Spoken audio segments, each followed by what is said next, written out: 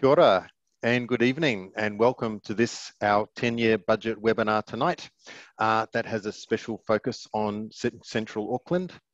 Uh, I appreciate you taking the time to tune in tonight on what is uh, the first day of our fourth lockdown here uh, in Tamaki Makaurau, Auckland.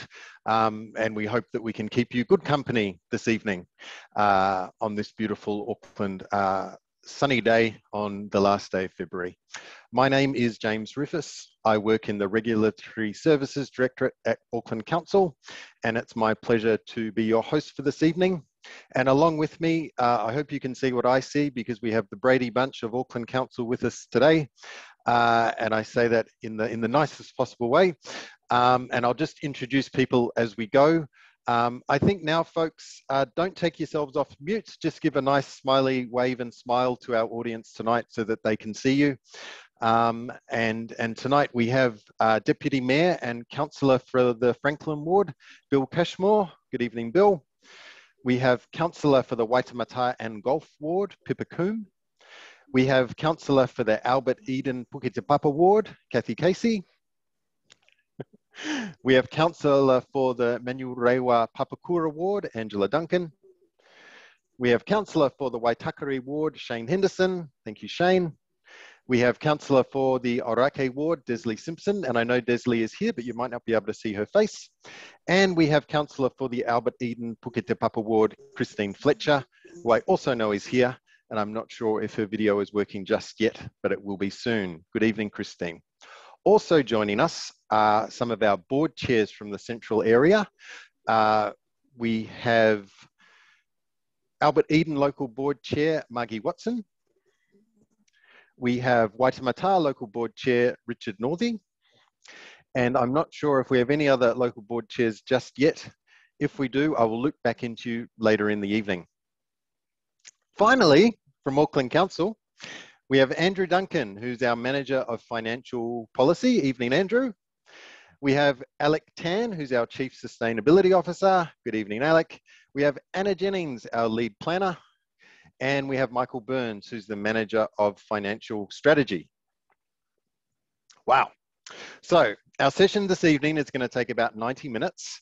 Uh, it will be recorded and it will be made available on our website alongside the questions and responses. And we'd really love questions from you throughout the evening. You'll see in the bottom of your screen a Q&A uh, little icon and you can click on that and ask questions. Um, uh, we're going to start though with a brief presentation about the 10-year budget and then commence uh, the Q&A session with our panel. I'm actually going to start off by asking uh, our councillors some questions and then we'll move on to our local board chairs. If you've got anything specific uh, that you'd like to know about your local board area as it relates to the 10-year budget, feel free to, to ask those and I'll, I'll answer, oh, sorry, I'll put those to our local board chairs later in the evening. Um, this consultation is really important and we, we're genuinely glad that you're here. Uh, I encourage you to visit the Auckland Have Your Say website, which is akhaveyoursay.aucklandcouncil.gov.nz, uh, so that you can actually officially have your say on this 10-year budget. Uh, we'll put the link to that in the chat later in the evening. Um, so yes, feel free to shoot through any questions that you have and we'll ask the panel. In the meantime though, we are going to start with a presentation uh, by our friends at Council, Michael Burns and Andrew Duncan, and they'll be presenting an overall presentation about the budget that we're talking about tonight. So Michael, are you ready to go and ready to share your screen? Excellent. I'll pass it on to you now, Michael. Here we are. So, kia ora all, um, and welcome to our recovery budget, our 10 year budget. So, I'm Michael Burns from the Council's finance team, and alongside me, my colleague Andrew Duncan will be walking through the key regional issues we want to hear from Aucklanders on over the next month. So, councils across the country prepare 10 year budgets, often called long term plans, every three years. They look at the activities the council will focus on and how they'll fund them. I don't think it comes as a surprise to anyone, especially not today, that this is not a business as usual 10 year budgeting process. The world is, is quite different at the moment. So, hearing from Aucklanders on our plans is a key part of the process. We want to hear from as many as we can. So your input will support the elected members, many of whom are here to listen to you tonight, um, in their final decisions they make in June. So the council, like so many others, is feeling significant impacts of COVID-19. We're projecting to lose around a billion dollars in revenue over the next four years. Meanwhile, we still need to plan for projected growth of the city and to look after the infrastructure that delivers the services we all value. We also need to face up to the challenges of climate change, both in terms of emissions reduction and in adaptation to a changing climate. This is why we're referring to this as our recovery budget. So the real challenge behind this budget is one of balance. On one hand, we have a, an increased need for the council to invest. But on the other, we've got less availability of funds to make this investment. So I've already mentioned Auckland's growth, infrastructure needs, and climate change. But we also need to continue the work we've started on our transport network. We need to ensure our activities match the changing needs of our people, and we need to play our part in supporting the recovery from COVID 19. So, on the other side, we still have, we have less capacity to invest. We've talked about the reductions in expected revenue due to COVID, but we also need to be careful how much we borrow, and ensure we maintain headroom in case there are any further shocks that we feel. Large sections of the funding we, we do have is already committed through major projects such as the CRL and the Central Interceptor. And we also need to consider the overall impact of the funding options we do propose on the community that we serve. So this draft plan looks at five key issues. Our first issue is around our proposed investment package. This is essentially our response to the balancing challenge in the last slide. So we're proposing to invest $31 billion in Auckland over the next 10 years. The timing of this investment is crucial given the challenges we're facing. So our proposal enables this investment to average 2.9 billion each year for the next three years. This is 900 million more than we could otherwise be able to afford. So we had to do have to do something to achieve this. To achieve it, we will continue our focus on savings and value and lock in at least $90 million of permanent, ongoing annual savings. As we did in the emergency budget, we'll look to release $70 million a year over the next three years by selling or leasing surplus properties. We'll look to increase our borrowing to a temporarily higher ratio of our revenue for the first three years and then gradually reduce it thereafter. And we're also looking to stick with rates increases of 3.5% per annum over the long term, but to have a higher rates increase of 5% for the next year. So with this additional investment, this enables us to, to do more in these first, particularly in these first three years. It enables us to invest half a billion dollars more into Auckland's transport network where every, everyone can see that it's, it's needed. It allows us to accelerate the renewals work and look after our underground infrastructure and our piped water networks. It also allows $65 million of additional spending on parks and community, so to deliver things in local areas. It also allows us to act earlier on restoration that's needed for our art gallery and also to commence work on addressing health and safety concerns around our closed landfill sites. And those are just some examples of the things we're able to accelerate and to, to leverage up investment in those first few years if we pull those funding levers. So the second key issue is about climate change. So it's not down to the council to tackle climate change on our own, but we want to lead from the front. We're already doing a lot of work to tackle emissions, including phasing out gas boilers in our aquatic centres, introducing more electric vehicles into our fleet, and providing walking, cycling, and public transport options.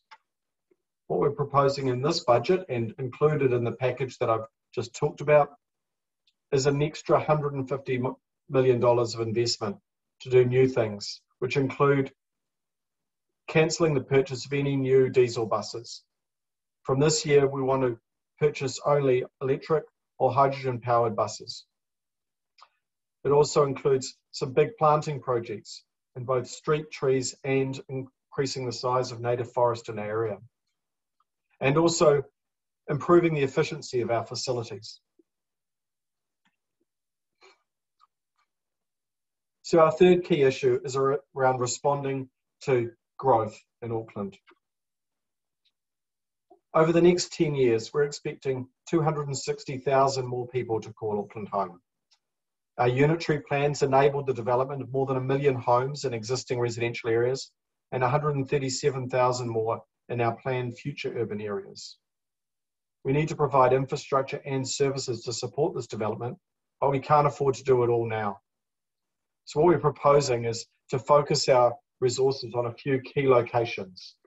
They include areas where the government um, agreed with the government as part of the Auckland Housing Program, Mount Roskill, Tamaki, Mangere, and um, and Northcote. We also also where there's other significant government investment plans such as in Drury and other in areas of the northwest, and also where there's where we're investing in other big projects like CRL and leveraging off those. Our fourth key issue is about investing in our community. We need to be more adaptable in how we provide community services. So councils have traditionally provided community services using a large network of buildings and other properties. Over time, the needs of our communities have and are changing. So we need to be more adaptable in how we provide community services to keep up with those changing needs. So with much of our investment locked into aging community buildings and facilities, we're spending more and more every year on renewals and maintenance. This detracts from the amount we can spend delivering the services that Aucklanders actually want from us. So this recovery budget is proposing a move away from this asset dominated approach to community services. We propose to consider how we can better use partnerships, grants, digital and non-asset based approaches more tailored to the community needs. Over time, implementation of this new approach would see us closing some of our assets if they're not fit for purpose and reinvest that into services and facilities that better meet the needs of our communities. Our fifth issue is around protecting and enhancing our environment. So the previous 10-year budget accelerated actions to improve our water quality and our natural environment and funded these through two new targeted rates. What we're proposing is to extend and increase this investment so that we can continue to invest in different parts of the city. So the pro budget proposes to extend the water quality targeted rate past its currently planned end date of 2028 out to 2031 so we can continue to invest in different parts of the city and it also proposes to increase this rate in line with the projected average increase in general rates. This will be an increase for the average value property of $3.30.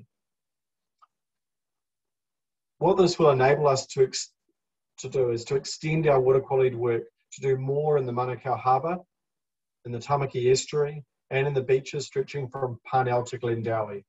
And with the increase for this construction work to start in 22-23 rather than six years later. It'll also fund additional litter trap work across the entire region, which will help remove contaminants and improve the quality of both our fresh water and our coastal water. With the natural environment target rate, we're proposing to extend that from 2028 to the end of this plan in 2031 to allow us to continue to do the work in areas such as kauri dieback and in reducing in our predator and weed control. Our plan also includes a number of other key priorities, including Māori outcomes. The Council is committed to a treaty-based partnership with Māori so we enable delivery against 10 Māori outcomes strategic priorities through our Māori outcomes portfolio. And this portfolio includes day-to-day activities supplemented by the targeted use of the Māori Outcomes Fund, which is $150 million over the next 10 years. So some examples of this um, in action are the Marae Infrastructure Program, which helps Marae to be healthy and sustainable cultural hubs, and Te Kete Rukuruku, which is returning names to parks and places across Tamaki Makaurau and helps ensure the Māori language is seen, heard, spoken and learned in everyday life. We also continue our focus on social investment. So this recovery budget reinstates the contestable funds that were reduced as part of the emergency budget. We're also proposing to embed a $500,000 a year annual operational fund to work with other organisations to support homeless people and to continue the work with the Southern Initiative and the Western Initiative, which will help disadvantaged sections of our community with skills training and employment pathways. So I just want to hand over to Andrew now to talk about what this means from a, a rates perspective.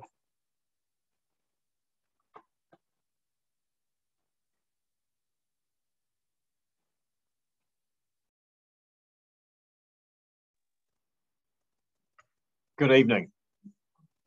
So the expenditure that Michael's talked about that we need to support those key investments in the city, how does that translate into you, your rates? Well, for the average value residential property, $1.08 million, that'll be an annual increase in rates of $150. And that includes the water quality targeted rate increase of $3.30 a year that Michael referred to, as well as a small increase in the base waste management rate. For a business property, the average value business property in Auckland's $2.84 million. The increase will be $583. You can find out exactly how your property will be affected by going to the rates guide at AK Have Your Say. That's on the next slide, Michael.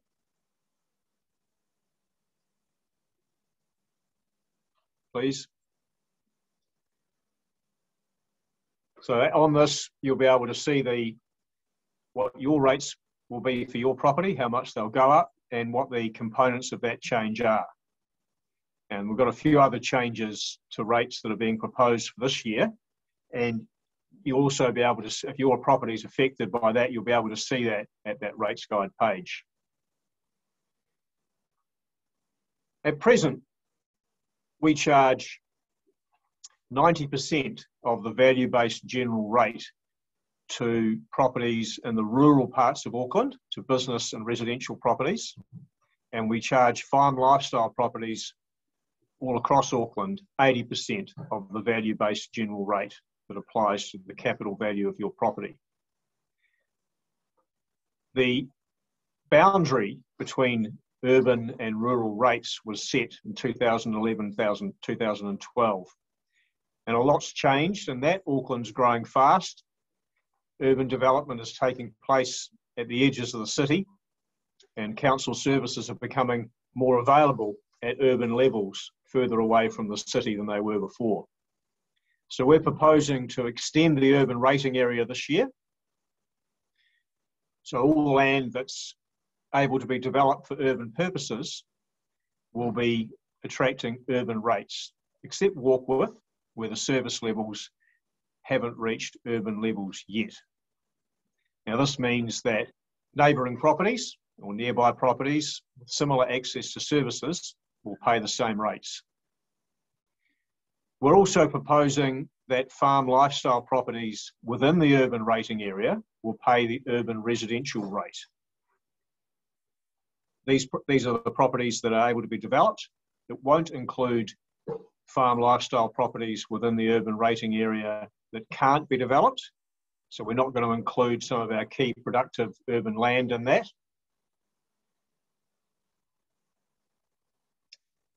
Within that consultation, we've identified Kumeu and Huapai as potentially coming into the urban rating area, but noted while their service levels are higher than most of their rural neighbours, they're not quite as high as similar urban areas. So that's a particular question we're looking for feedback on.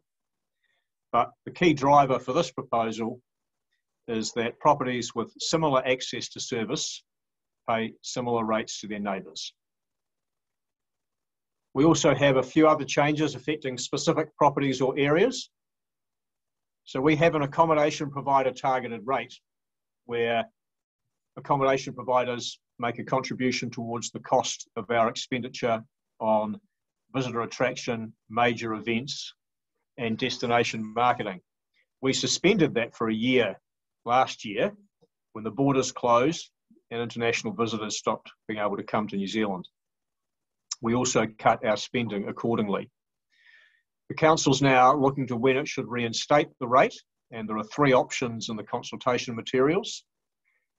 The end of the one year suspension, which will be the 1st of April this year, or the 1st of January 2022 or 1st of July 2022.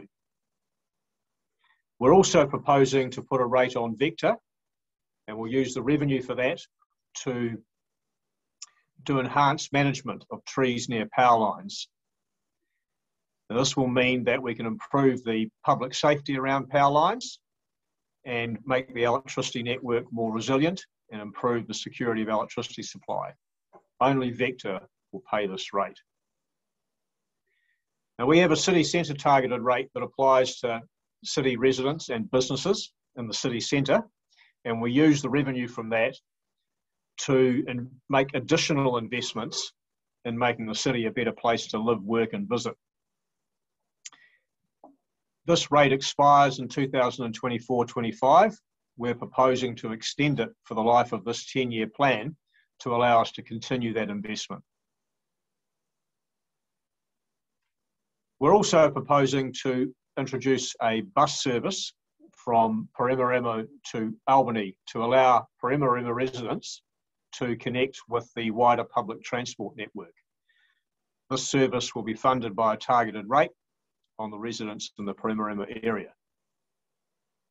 We're also introducing a stormwater service we're not introducing a stormwater service, reintroducing a targeted rate to fund the stormwater services provided in Te Arai and Okahukura. These are the only rural areas of Auckland that still have a council stormwater service. The targeted rate would apply to the properties that benefit from the service. There's a few small changes to our business improvement district targeted rates. There's also a, a ballot on the properties that will be affected in those areas, Manurewa, Glen Innes and Dominion Road. There is also some changes we're consulting on to our fees and charges, some adjustment to some of our animal management fees and to our building and resource consent fees. In addition, a key issue is our proposal to remove library late return fees now, each year, about 35,000 of our library members stop using our services because they owe us even small sums like $10. We want to make sure these people keep using the services, and we believe that removing the fines will encourage them to do that. However, there'll be a loss of about a million dollars per year in revenue associated with getting that benefit. Thank you. Thanks, Andrew. So we want as many people from across Auckland to be involved in this process as we can. And the best way is, is through the website that James mentioned earlier. So it's akhaveyoursay.nz. Um, and in there you can, um, you can either type out recovery budget at the end or just click on the recovery budget. Um, on there, there's also some really helpful translations of summary material and uh, feedback forms, both in a number of different languages and also in some accessible versions. Um, on the website, you're also able to access our feedback form and fill it in online and submit, or to print out a feedback form to post in or scan and send in. Um, hard copies also available from our libraries and service centres. Of course, people can also these days make their give us their views through social media, through Facebook, Instagram, or Twitter. Just comment on our recovery budget posts and use the AK Have Your Say hashtag. So thank you everyone for listening. Hope we haven't taken too long and we can get into the questions. Excellent. Thank you, Michael. Thank you, Andrew. And uh, just to check, you two will be staying on the line for the rest of the webinar, won't you, to answer any questions that might come up. Awesome. Thank you very much.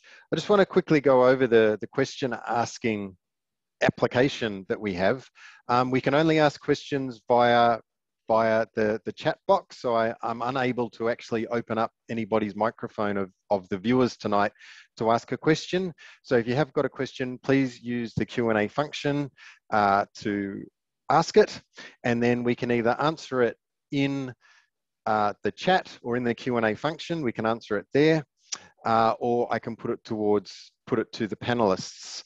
Um, in a moment, I am going to pass over to our councillors, and I'm just going to put you a, a, question, which is, what are the top of mind concerns for you and your priorities, or what do you think the priorities should be uh, within this budget for your community? So I'll be asking you that, I'll be starting with Councillor Cashmore, uh, and then moving on after that. Um, and then we'll have some questions from the audience as well. And following that section, then I'll move to our local board chairs. Just want to acknowledge that uh, Councillor for the Maungakiekie Tamaki Ward, Josephine Bartley is here tonight. Kia ora, Josephine. If you want to give us a little wave, we can see you. And also I missed earlier, uh, Puketea Papa Local Board Chair Julie Fairey is here as well. Good evening to you both. Um, just if having a look in, in the questions that have been answered, um, you can see there that there will be a transcript of this webinar that will be released uh, later on. Unfortunately, we can't have live captions tonight. Um, and as well, the, the various PowerPoint presentations and other paraphernalia that we have tonight will be made available after the webinar. So I'll just quickly pass over to you now, Councillor Cashmore. What what are your priorities or what do you think the priorities of your constituents should be uh, in relation to this budget? Good evening. Good evening, James, and everybody online. So thank you very much for the opportunity. And thank you, everybody, for your time on this somewhat balmy, late summer's Sunday evening. Sadly, we've gone back into another lockdown for a week, and, and that exemplifies the real challenge that we have in this budget. This is not business as usual, it is anything but. And we have lost and will be losing around you know, half a billion dollars plus um, over the next two years and another half billion beyond that. It's a billion dollar hole over four years and it's challenging.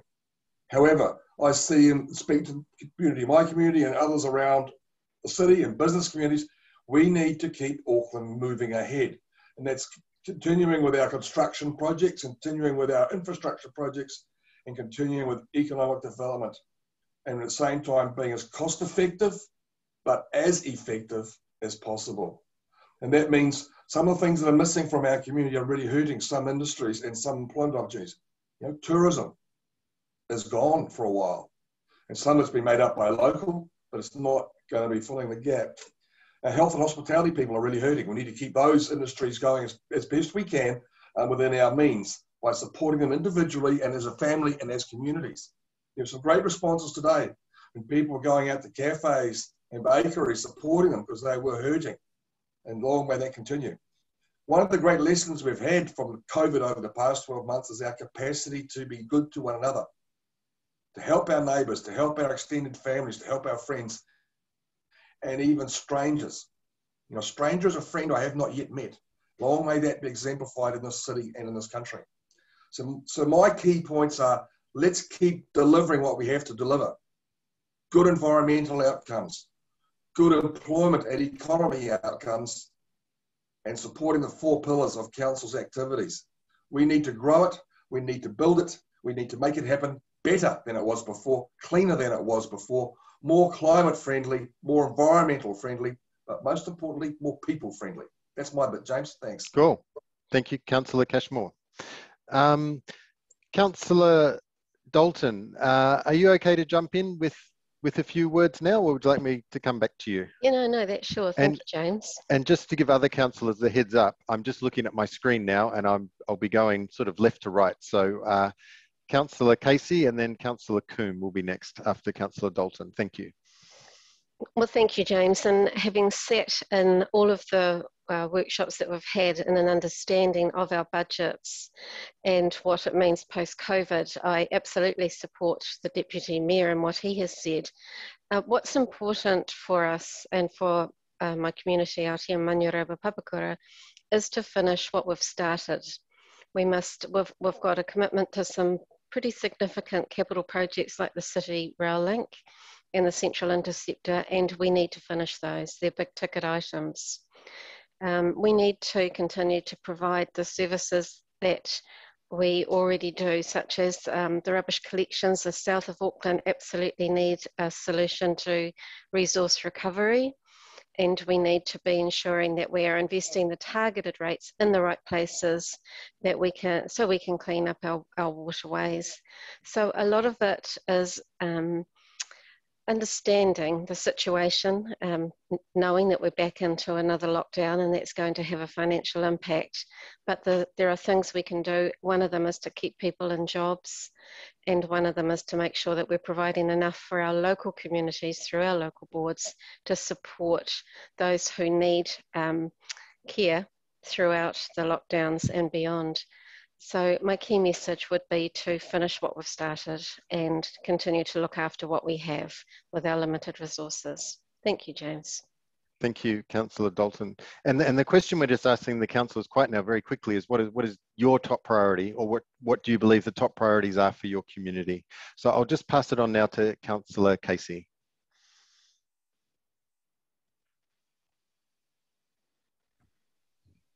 Thanks, James. Um, we've spent 77 hours on this recovery budget. And what we're asking the people of Auckland now to do is tell us what your needs are. And I'd like to talk as a senior liaison councillor for the six demographic advisory panels. As everybody knows, my heart lies in community services and community facilities. And as you heard from Michael tonight, we cannot afford to maintain all our buildings. So what's really important is, have we got the recipe right for the services that you need, the services that you use, that you want to see us continue to provide? We need to be smarter, we need to be cleverer about how we do that. And so it's absolutely vital that you tell us, for me, that you tell us what the services are that you value most, and you do value them. You tell us that all the time. The libraries and our community services are among the highest valued in anything that the council does. And so, as part of the PACE committee, which is Parks, Arts, Community and Recreation, we that that's in my portfolio area, and this budget is quite critical. So, if you do nothing else, please tell us what your needs are. Thank, Thank you. you, Councillor. Uh, before I pass to uh, Councillor Coom, who will talk to us about the, the priorities from her perspective, uh, I think after Councillor Coom's answer, I'm then going to delve into a couple of the questions that we've got so far, uh, and then I'll go back to the rest of the councillors uh, for the roundtable. So, uh, Councillor Coom, I'll hand it over to you. Thank you. Good James, and good, good evening, everybody. Thank you for the opportunity to take part in this webinar. Um, I'm the councillor for Waitemata and Gulf, covering the central part of Auckland and the Gulf Islands. I was fortunate to be out on Aotea only just yesterday for a consultation event. And what I'm hearing sort of is top of mind for the communities that I represent, and I think it's also a wider concern, is particularly around water quality, the state of the Hauraki Gulf, um, the need to be really taking action to restore the Gulf, and that's why it's so critical that we invest in our water infrastructure um, so that we are stopping the discharges into the harbour. Um, transport is a big one, whether it's in the far-flung flung communities who are reliant on the ferry um, and just the, the, services in the city centre. Um, so really the investment in transport and then the environment and climate action is a huge one. And so I'm pleased that in this budget, for the first time, we have got uh, funding for specific climate action. It is quite a modest amount. I think we do need to do a whole lot more, um, but we have to take a really holistic view for how we're we're going to really recover from COVID uh, by actually building back better and investing in the climate action that we need. So I know um, particularly out on the islands, um, they're very appreciative of the investment that's gone into the environment through the natural envir environment targeted rate. So that's another aspect that we're consulting on is extending that targeted rate so we can do even more. And we're seeing some fantastic payback from that, that targeted rate when it comes to um, tree planting, response to kauri dieback, pest control, and a whole lot of amazing programs that are also creating jobs. So that's really important too as part of our COVID recovery. So that's probably just uh, that's a, great. There's, there's, there's, a lot more I could probably add, but those are probably the three main areas. Thank you. Okay, that's fantastic. And that's a, a great segue into a question that I've got. And uh, if a councillor would like to answer it, just raise your hand. And if, if I don't see a hand raised or, or a noise from your microphone, if we can't see you on the video in a minute or sorry, in about five seconds, then I'll, I'll choose someone to answer it. But how will jobs be provided to those that need them within this new budget? And uh, Councillor Cashmore, you were very quick on your buzzer, so I will pass it to you first. Thank you. Thanks very much. I was looking at it, it's on my questions. There's a question for Councillor Cashmore. what is Council going to do to provide or help create employment? So the challenges, as I said in my opening statement, you know, we've lost a lot of employment around tourism that that might not be coming back anytime soon. However, the employment rate hasn't dropped anywhere near to the extent as what the government or indeed council was predicting, which shows the resilience of the employment and businesses in the city. What we have to do is continue to enable business growth and to make sure that enablement is effective. Because that's where the employment is. You know, 95% of people are employed in private sectors, often in small, medium-sized businesses. So that's about good um, transport systems, effective um, avenues in, out, and through Auckland. That's having enough business land zoned and infrastructure ready to go to let business expand. It's about having effective economic proposals for business. Let's look at film. Film has gone from quarter of a, million, sorry, quarter of a billion dollar business five years ago to four billion in Auckland now. That has been partially driven by Auckland Unlimited to help expand the film industry. It employs hundreds of thousands of people and it's high end jobs with an industry that's well recognized worldwide. Our IT um, sector is doing well in this country. Um, we are looking at some of the finest growing lands um, in, in, the South Auckland and Franklin, in my ward, in the Franklin area, and, and having some of the lowest uh, carbon and climate change impacts of any agricultural area in New Zealand. We can grow on the technology and advancements around that. So there's plenty of things we can do. Council is not a direct business maker, but what we can do is have the systems, places, the zoning and the planning in, in sight, in situ, ready to go um, over a long period of time. That's what enables employment. Excellent. Thank you, Councillor Cashmore. Uh, we've got an, another question come through, uh, and I think Councillor Simpson, can I just check your um, you're available? Can you hear me? Yep. Yes, wonderful. So uh, the question is, uh, is $900 million in savings year on year sustainable, sustainable and won't services be impacted in the long term? And I'll also get Michael, uh, Michael Burns as well to, to, to come in at the end of that question. But Councillor Simpson, are you okay to provide a view on that question? Sure. First of all, 90 million, sorry. It's, it's 900, it's not 900 million. Yeah. I think I think one of the most important things is people want to say, um, and look, I can answer this in in um, complementary to my ward is it's all very well to ask the ratepayer to pay more, but what are you doing to help yourself? And I think um, it's really important for us to show the ratepayers of Auckland that we are actually doing something to help ourselves. I mean, in the emergency budget, we have a target of $120 million worth of savings in just one year. And we are, you know, we are well over 100 million towards that target and we will achieve that target. Um, getting into this budget though, um, for that $120 million worth of savings in one year is, is the equivalent to, to, about a 7% rates rise, right? 90 million is about a 5% rates rise. So it's a lot of money.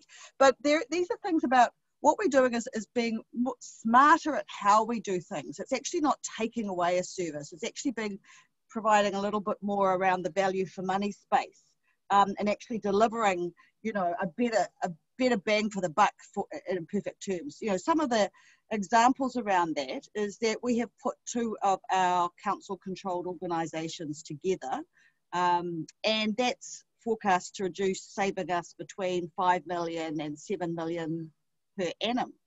You know, the um, and, and just to give you some context, you know, Auckland Council is now operating over $316 million less a year than it would have been in this for the same level of service in 2011-12.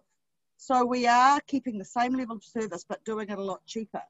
Um, and you know, and the cumulative impact of savings is about nearly two billion dollars over over ten years. So you know, we are doing a lot um, to deliver a better value for money without losing that level of service. It's really important to keep to keep that up.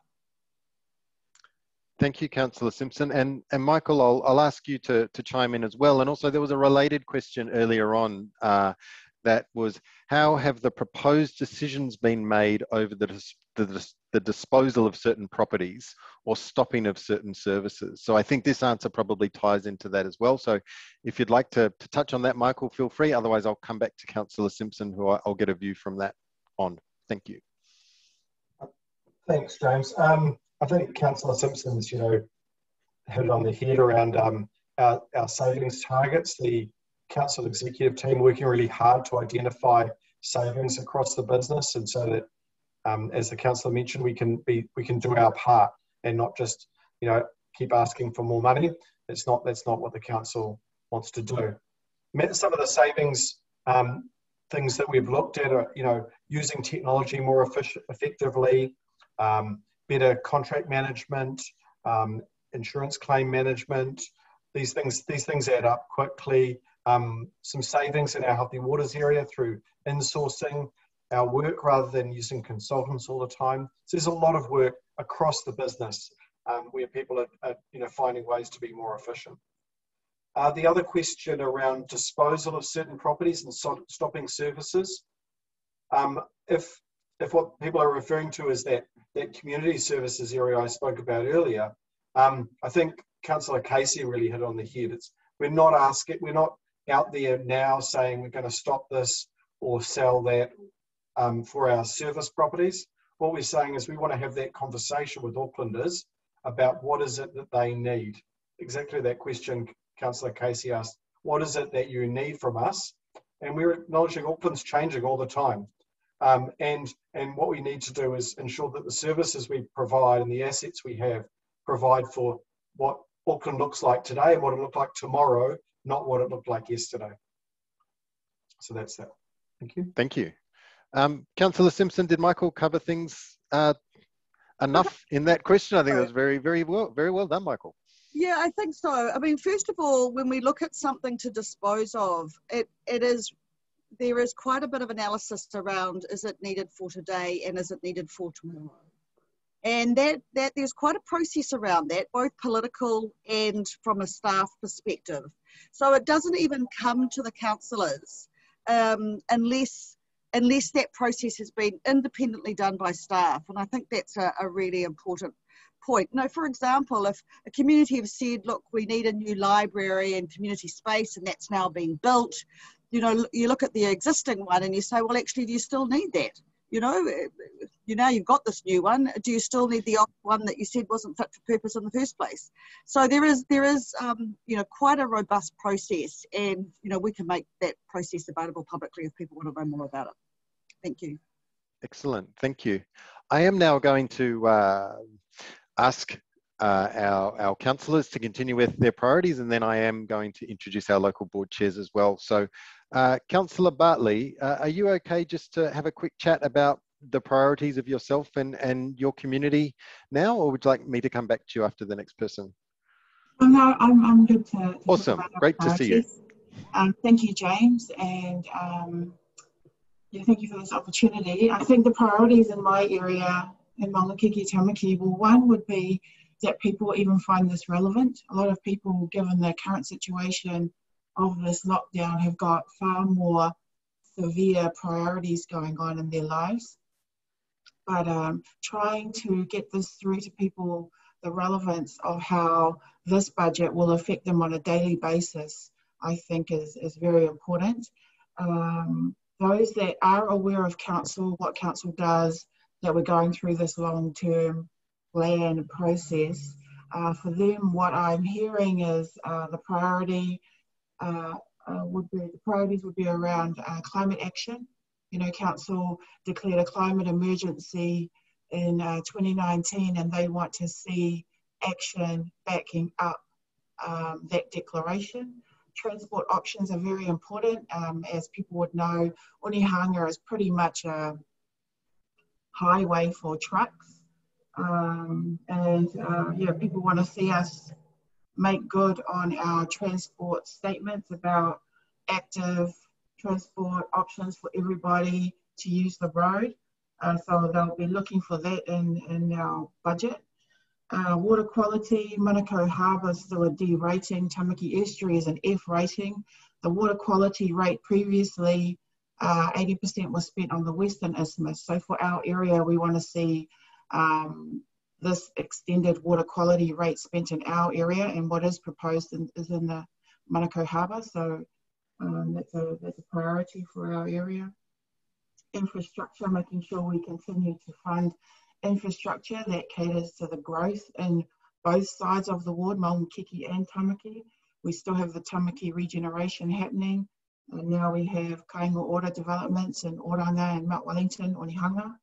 Uh, but, um, you know, we need to see that, that we are matching uh, the government's investment in the infrastructure in those areas. So that's very important.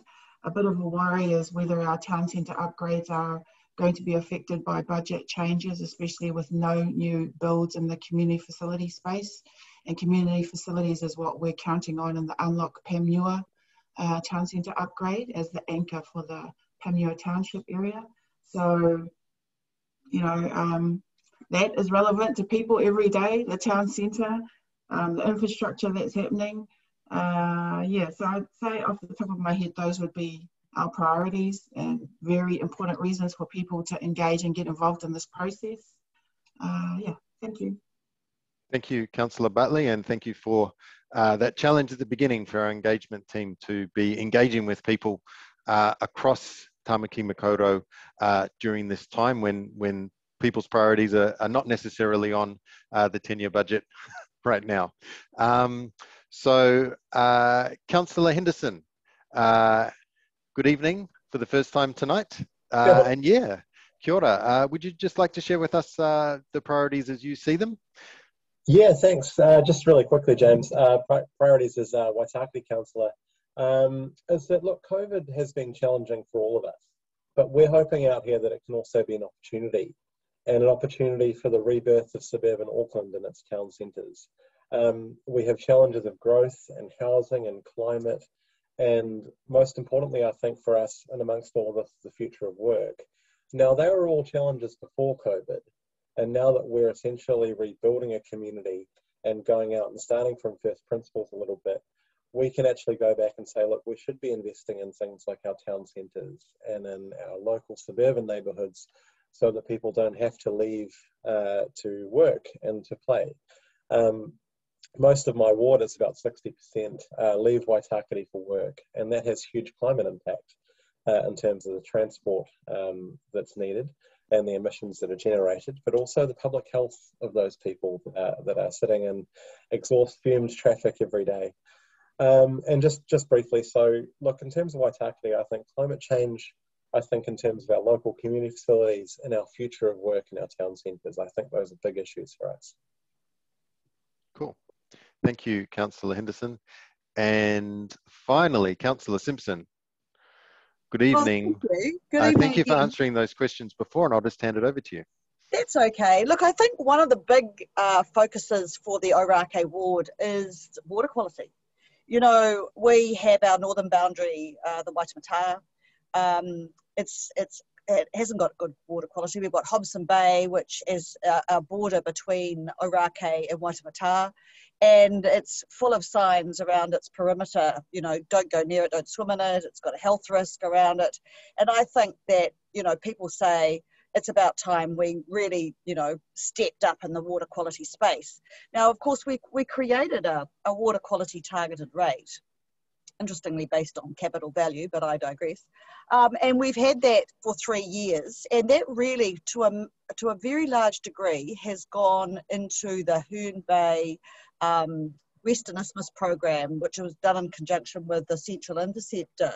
So, you know, the investment has been in, in one of its worst, worst parts of Auckland Shore. But look, the next two big, big projects are the Eastern Isthmus, which is Hobson Bay, all the way through to Glendowie, the Tamaki River, and of course the Manukau.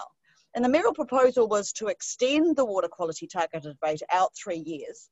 But if that's all we did, we would not start investment in our in addressing the poor level of water quality for six more years.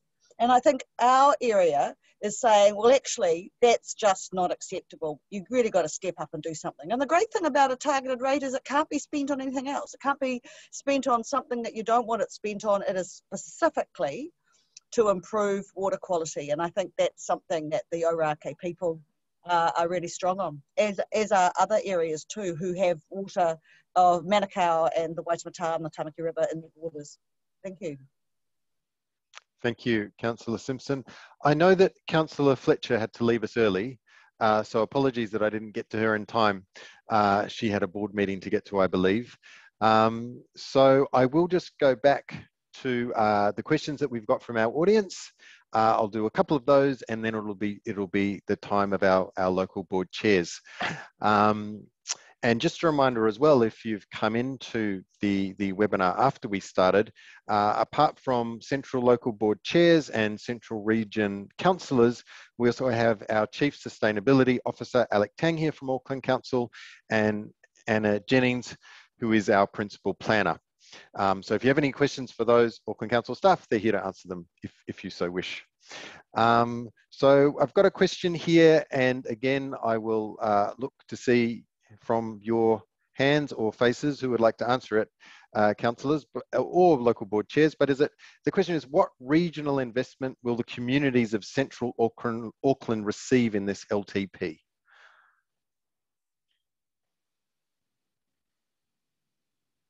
Well, I'm happy Councillor, oh yes, Councillor Simpson, uh, please, and then Councillor Coom. Thank you very much. Okay, I think I- I've sort of touched on it a bit. It'll be the water quality investment. I think if that's successful and that goes ahead, um, there's definitely benefit to many of the um, uh, central areas from that. And the other one, which is very specific for Ōrākei, is the links to the Big Glen Innes, the Tamaki Drive shared path. And this is a central government and Auckland Transport combined project. Um, and so the, the, the sort of the transport investment for us around that will be you know links to that which will be really great. It'll mean that the schools are, are able to have children walking and cycling to school completely off road but look just on that i think the other thing that it's important to, uh, to benefit is just talking about transport is the ability in the central area for our local boards to make their own decisions around local transport issues that are important and have some funding to do that. And what the 5% uh, rates increase gives local boards in both, central and in fact everywhere else is a um, quite a high level of annual budget for those local transport capital uh, projects that are important ward by ward. So I think those are two that, um, well, those are three issues rather from my, my perspective. Thank you. Excellent, thank you. Uh, Councillor Coom. Uh, thank you. I was just having a look at um, our consultation document because I think this is really handy for people to log, um, check it out online because it goes through what the options are and what we get from each of the priority areas. Um, so say centrally, it highlights that if we have a 5.5% rates increase, it means that we can do the renewal work that's needed on the Auckland Art Gallery. Um, and then it just goes through each topic like that. So I'm, I really um, recommend checking out, out this document because it, it really highlights where we can actually invest um, and then people can have a look at what they, you know, what's important for them in terms of areas around water quality, environment, transport, community assets, um, parks, recreation. Um, so that's where all the information is. But that's just one example would be the art gallery. That's great, thank you. Uh, team, can we please get a, copy of that link into the answer section as well? uh, the link to the consultation document that uh, Councillor Coom just raised uh, because it is a great uh, and accessible document. And I should also note that the consultation document is available uh, translated into different languages um, and other accessible formats as well. So thank you for that prompt, Councillor Coom. Um, awesome. Uh, I think now we've got one question uh, to do with the universal uh, basic income. And uh, you might have seen on the news, if you follow New York local government, that um, that one of the mayoral candidates in New York is is uh, is presenting a universal uh, basic income. That's Andrew Yang.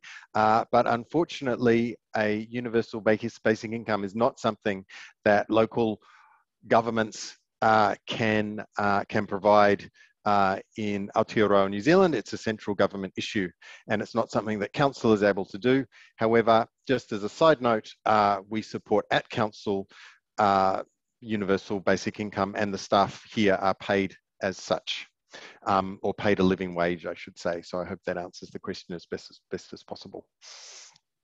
Um, so now, the moment you've been waiting for. Sorry, it's taken so long. Uh, Richard Northey, uh, Waitemata Local Board Chair. Hello. Uh, thank you for attending tonight. Um, I'd just like to hand over to you for, for a few moments to talk about um, the priorities from your perspective for either uh, you, your local board or, or Auckland. Good evening.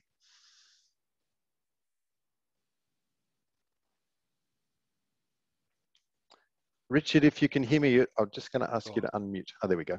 There we go. Okay, yeah. So, so probably our biggest concern is is about community facilities. We appreciate the pressure that um, council income is under, but nevertheless, there are some uh, buildings that are important for placemaking and community in our area. The Leys Institute, as you know, was um, closed because of um, seismic issues and we're very keen to um, get that rebuilt as soon as possible. The, the, the recovery budget has some um, funds towards that project over the next three years, but probably not not enough, and we'd like to make sure that happens. The Ponsonby Park project, um, most of those uh, projects called uh, One Local Initiative are not not proceeding in the next three years, including Ponsonby Park. There's just funding for design but we want to get feedback from our community about whether they want that still to happen in um, pretty soon after the three-year period when we're particularly constrained. We're pleased to hear about the art gallery renewal. Um, there are, because we're an older community, there are some of our um, much loved facilities um, which will need seismic strengthening at some stage. Studio One, our community arts facility, the Grey Lynn Library Hall and some aspects of the Olympic pool building.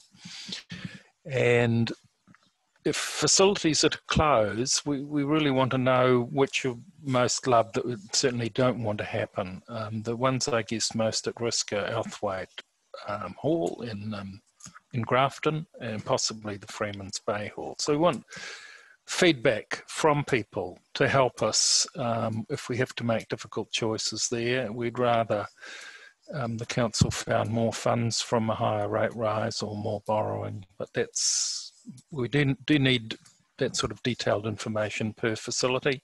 On climate action, uh, we as a board are responding uh, with some particular pilot projects.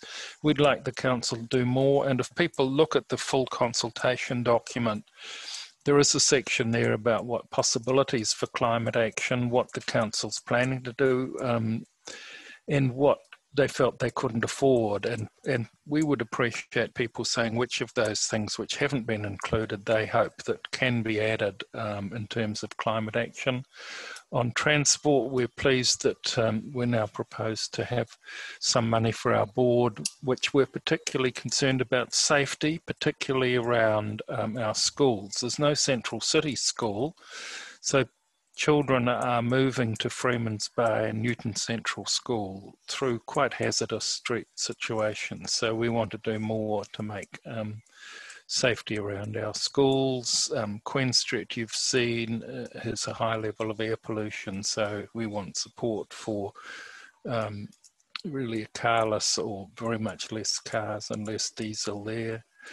Um, water quality, um, as said, some work has been done already in terms of the central interceptor and Hobson Bay on our boundary does need uh, to be brought forward in terms of, of cleaning that up. So we're keen for um, the additional funding that can come through increasing the water quality targeted rate at the same rate as other uh, rates. Uh, uh, housing, I think council can can and should be doing more than is proposed in this budget for housing. It's a big national issue. Um, and we should be uh, contributing more either directly or through um, support for the provision of infrastructure would enable uh, Kāinga Ora or um, private developers to provide more housing.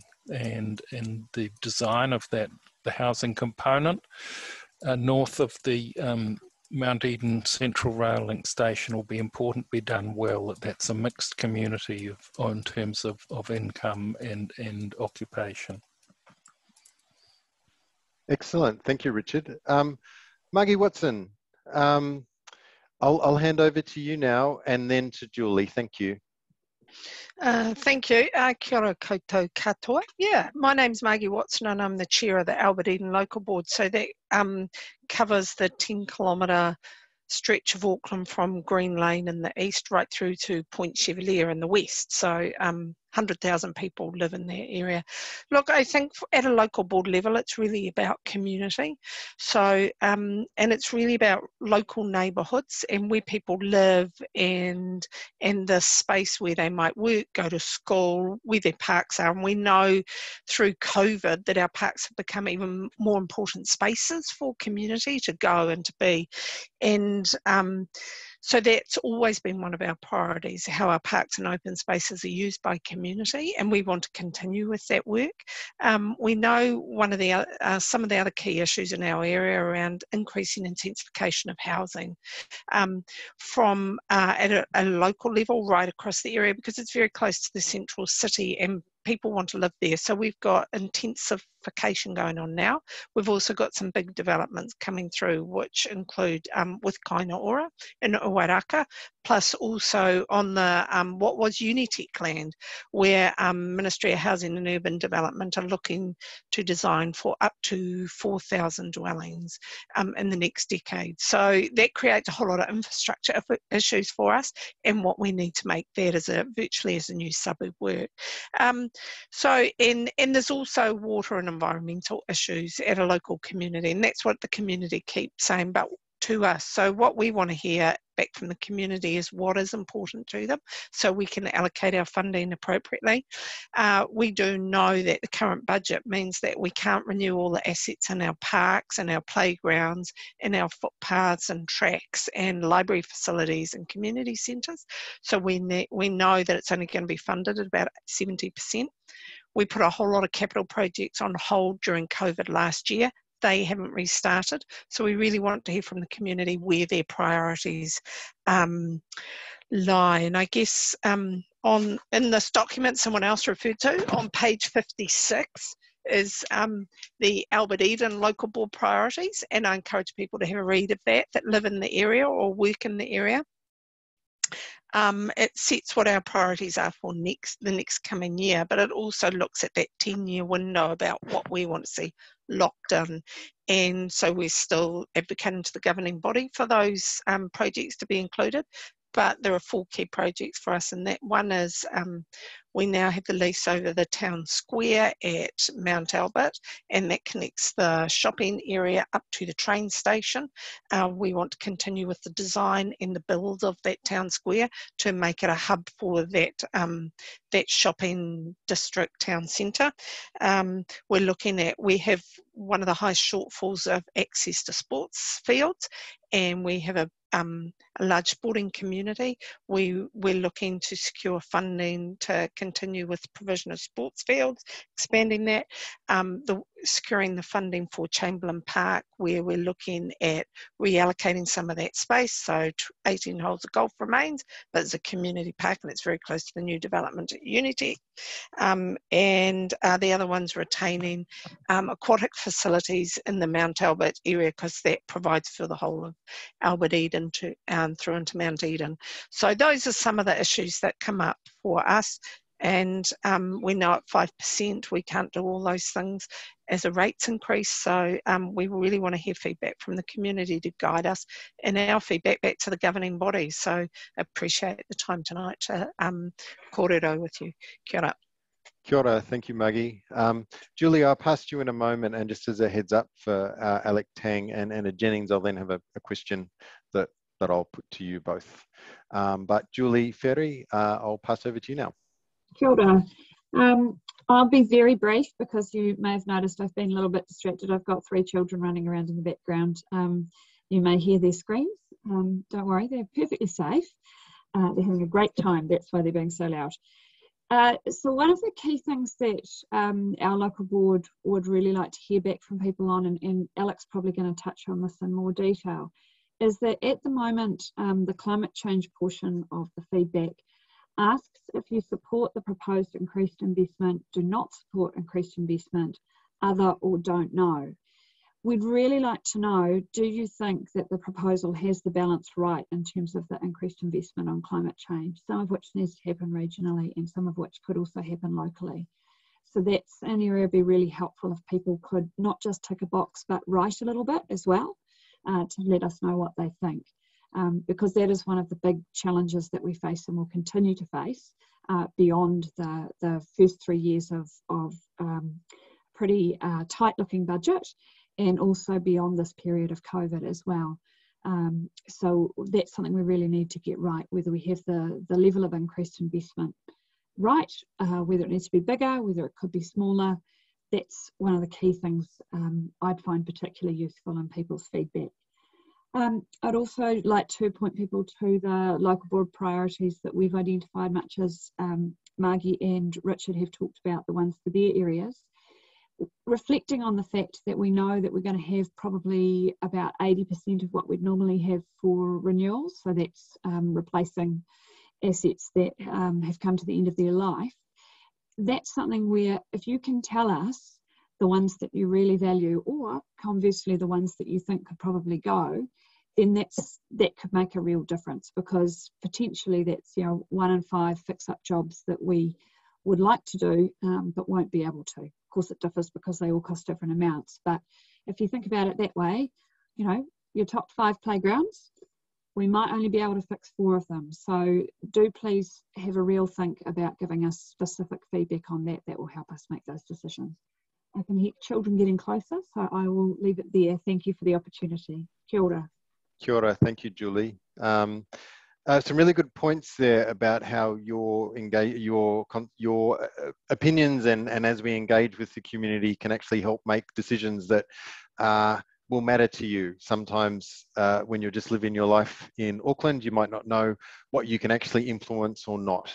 Um, and certainly also Julie is a, a parent of children, uh, knowing that there are some playgrounds that that can be invested in and others that might not. I think that's really good good view of things. So thank you very much. Um, Alec Tang, good evening. Just want to bring you in now. Uh, I know that we have got a, a climate focused uh, webinar later on this week, but um, the um, sustainability and climate change aspect of the long-term budget has been brought up a few times tonight uh, by councillors and local board members, and I just wanted to bring you in for an opportunity to, to give our audience a, a further view on that and a bit, bit more of a deeper dive. Thank you. Good, James. Thanks for that. And yeah, great to hear um, from a number of councillors from across um, the whole of Tamaki how important climate action is to their communities, which is obviously fantastic to hear as you prefaced on Wednesday this week, I'll dive into more detail about what those options are. But just for now, I think it's useful to take a step backwards um, and just to reiterate that from my perspective, climate action is an opportunity. You know, we always, and we're talking about an investment here in cost, but there's a huge opportunity. Um, we know that um, reducing our emissions, greater efficiency from an energy perspective, from a movement transport, that, that saves money. So there's huge opportunities there. And there's huge opportunities to deliver more sustainable housing, more uh, healthy homes, um, and, and, and homes that are closer to where people want to work and play and live. Um, we know there's also environmental benefits from climate action. You would have seen last week um, the state of our environment report was released by council, highlighting again air quality impacts in the central city. And one of the proposals that we flagged is about, as you, you noted earlier on, um, no new diesel buses, uh, moving to electric, moving to hydrogen buses, that's going to have a huge benefit for our um, central city air quality. So lots of benefits from reducing emissions, but also lots of benefits from um, addressing those impacts of climate change that we know are going to happen, because it means that we can uh, avoid or at least reduce the costs of um, things like the floods that we know are going to happen, things like increasing storms, we can increase the resilience of our physical assets, but also from a social perspective, we can build the resilience of our communities to respond to the change that we know is happening, and we can make our economy more resilient. And I know Councillor Cashmore talks about this, about the changes we see now from COVID. We're going to see those kinds of changes, those kinds of transformations in our economy going forward. And so the more we do now to, to make ourselves fit and healthy, make our economy fit and healthy for those changes is going to be critical.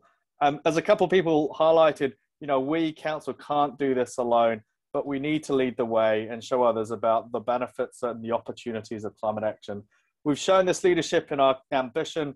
As a few of you have noted, we declared a climate emergency. We've set really strong targets. We've set a target of halving our emissions by 2030, which is aligned with a 1.5 degree future, which is by far and away the strongest action that, that, that, that we've seen around the country and it sets us in the leadership category around the world. And last year we launched Te Tāruke-ā-Tāwhiri, Auckland's climate plan, which is a regional plan that says this is how we're going to do it. So we've shown leadership in our ambition. This is about that first step to leading others um, through into the action that's required. Excellent. Thank you very much, Alec. And again, uh, look forward to seeing you on Wednesday night for the Climate Focus. Um, just a reminder, with the questions in the Q&A, uh, we're still open to any questions coming in, so, so by all means use that functionality. And now, Anna, um, I would just like to check in with you from the planning perspective. If there's anything that you've heard tonight from the councillors or local board members that you wanted to, to provide a view on, or if you have any advice for the audience tonight about how they can engage in the process as it relates to planning, um, it would be great to hear your perspective now. Sure, thank you, James. Um, I guess I just want to build on some of the comments that councillors have already made and also in the introductory comments that Michael made about this population increase we're expecting of the 260,000 people over the next 10 years. We've also touched on housing, some of the councillors and the need for housing um, and some of the developments that are happening, particularly with Kāinga Ora around the city. So we've, um, in the consultation document, we talk about a focused approach to housing and growth infrastructure we can't do it everywhere. We've got um, projects that we need to complete. Um, so we're advocating for a more uh, focused approach where we support and leverage off um, investment by the Crown and others. We've given some examples of areas where we might focus. And these include the Auckland Housing Programme areas where Kāinga Ora are developing around the CRL stations um, in Drury and out in the northwest where, and we are working really closely with um, the government on these areas and looking at not only how we each fund, but alternative ways to funding and financing of these areas. So we'd be really interested in people's feedback on this focused approach um, and when they provide their feedback. Excellent. Thank you, uh, Anna. Um, I just uh, want to open things up a little bit now to councillors uh, and local board members. Is there anything you've heard tonight that you want to expand upon, or have you had a new thought that you'd like to communicate out to the audience? If so, uh, you can raise your hand virtually or in your rooms, uh, and I can pick that up. Um, and otherwise, we will. I'll ask another couple of prompts, and then we'll we'll close things out for the evening. So, if there's something front of mind that you'd like to get across to people, um, feel free to to raise your hand now uh, and I'll hand over to you. Otherwise, uh, we'll we'll um, we'll close things off for the evening and uh, enjoy the rest of the balmy night, as uh, Councillor Cashmore alluded to. I'm, I'm happy to say something from the because this is a central thing. Um, one of the, if that's okay, James. Oh, absolutely. Councillor Simpson. Um, is that all right? and yes, Councillor Simpson, I just turned your video off, Councillor Simpson, because we could see your your lounge room wall, but not your face. So I Oh. just turned your video off. I hope you don't mind. You can turn Oh. it on yourself if you want to. Oh, absolutely fine. Okay. Um, I was just going to say one of the one of the other advantages that this LTP gives the central area is 50% of the below the ground pipe infrastructure is being replaced in the central area. And you know, we you know, central part of Auckland is a very old part of Auckland. And unlike the, the new growth areas out further, um, you know, our below the ground infrastructure is very weak. So um, I think a 50% investment over the 10 years in the central area is actually really good for our area. It will help our water quality and it's just that renewal project, which is, um, I think will be of great benefit. Thanks. Excellent. Thank you, Councillor Simpson. Uh, anybody else? Uh, yes, Councillor Cashmore, uh, you can unmute yourself at your leisure. Thanks very much, James. And it's good to make people aware of the actual challenges, the reality, not only of COVID, but what's happening. So since 2010 till now, Auckland's population has increased by over 300,000 people. In the last year alone, over 100,000 people have ret- New Zealanders have returned and been in MIQ facilities and have been processed through those facilities. What percentage of those have stayed in Auckland? 50%, arguably maybe more. So that could be 50 or 60,000 additional Aucklanders um, over above natural increase. At that rate of population growth, to build the infrastructure that we have to do, um, it's almost physically impossible to supply it at the rate of population growth that would, would require. And whether it's greenfields, um, which is new, you know, rural land being converted into houses and factories and businesses, or brownfields with intensification um, of existing, you know, where you have single house zones, we suddenly turn into uh, more intensive housing operations where you have a, a low level apartments or, or, or terraced housing. These are all challenges for communities to face, and it's not easy because suddenly your um, California bungalow that was built in the 60s and 70s has been replaced all around you with three or four story walk up apartment blocks or terraced housing and the pressures that that brings to your community. Change is never easy for anyone to accept, and, but it's an inevitable consequence of a growing city and a growing economy within that city and indeed within our country. So I'd ask people, I'd really encourage them to think broadly about you know, what are they seeing um, the future of Auckland looking like? You know, how are we going to move? How are we going to grow our economy? How are we going to create more employment and improve people's quality of life? And Alex summed up some good points around, you know, we need to adapt to a, a new model of, of faster moving climate change. We need to understand that um, we can't all sit in our, our cars and drive around as a one occupancy person because we just can't build motorways quick enough to beat congestion. It's just not possible. Um, we have to embrace public transport. We have to embrace new ways of working. And we have to embrace a lot more of live, work, play in an area and a lot less commute. So I'd really challenge people to have a think around those sort of things. What do they think is going to be the long-term future for them, for their families, and for their grandkids? Because that's what we need to do because they are our future. But thank you everyone for participating. And thank you, James, and all the staff um, who have been online tonight in their own time. Again, on a still balmy, sun just setting Sunday evening. Cheers. Thank you, uh, Councillor Cashmore, and that's a, a very nice moment uh, for us to end things on. I appreciate your, your final thoughts there. Um, so just as a reminder uh, tonight to visit akhaveyoursay.aucklandcouncil.gov.nz, which is the letters AK, H-A-V-E, Y-O-U-R-S-A-Y dot aucklandcouncil.gov.nz uh, in order to be part of the official consultation process for this 10-year budget. Um, to our councillors and our local board members. Thank you very much for joining us tonight. Much appreciated. Uh, and I know you'll be part of these engagement sessions as we go along in the next couple of weeks. Um, and also to Auckland Council staff, Andrew, Alec, Anna, Anna and Michael, thank you as well for attending tonight.